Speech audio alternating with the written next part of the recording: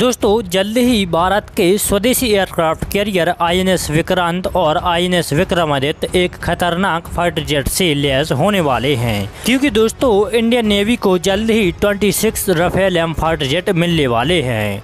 दोस्तों, वीडियो में आगे बढ़े। उससे पहले आप सभी से एक छोटा सा अनुरोध है कि वीडियो को अंत तक अवश्य देखें और हमारे चैनल को सब्सक्राइब करना ना भूलें। दोस्तों, एक बड़ी अपडेट के अनुसार भारत को जल्द ही 26 रफेल एम जेट मिल सकते हैं। क्योंकि दोस्तों, सूत्रों के अनुसार फ्रांस का एक प्रतिनिधिमंडल भारत आया हुआ है और जल्द ही इस डील को साइन किया जा सकता है। साथ ही दोस्तों, आपको बता दें कि इस पूरे प्रोजेक्ट की लागत पचास हज़ार करोड़ रुपए से अधिक आंकी गई है। साथ ही दोस्तों, एक और बड़ी अपडेट के अनुसार सोलर इंडस्ट्रीज़ द्वारा विकसित भारत का पहला स्वदेशी loitering munition Nagastra one Indian Navy की सर्विस में शामिल हो चुका है।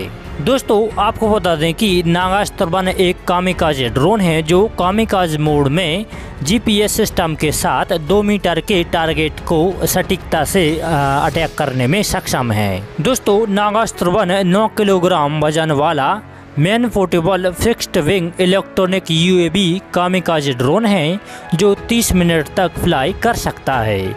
दोस्तों, इसकी man in loop range 15 kilometre तक की है, और इसे ऑटोनोमस रेंज में 30 किलोमीटर तक फ्लाई किया जा सकता है। दोस्तों, इसका इलेक्ट्रॉनिक प्रोपल्सल सिस्टम बहुत ही कम ध्वनि उत्पन्न करता है, जिसके कारण इसका पता लगाना लगभग असंभव है। दोस्तों, आप सभी का इस खबर पर क्या विचार है? कमेंट में अवश्य लिखें। आज के लिए बस इतना ही। वीडियो को अंत तक देखने के लिए धन्यवाद। वीडियो को लाइक करें शेयर करें और हमारे चैनल को सब्सक्राइब करना ना भूलें। जय हिंद।